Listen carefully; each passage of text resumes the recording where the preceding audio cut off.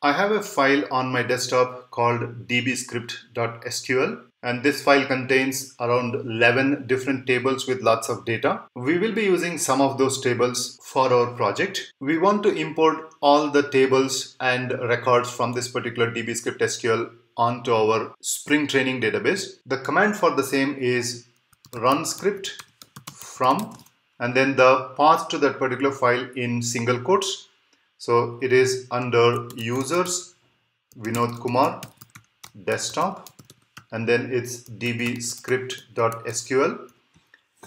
Make sure that the path to your file is appropriate and click the run button supposed to import 11 tables like this.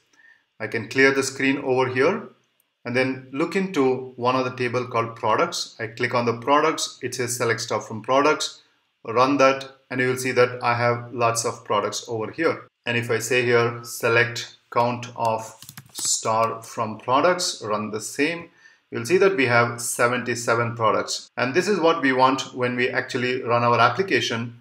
We want to get the number of products as 77 instead of 100.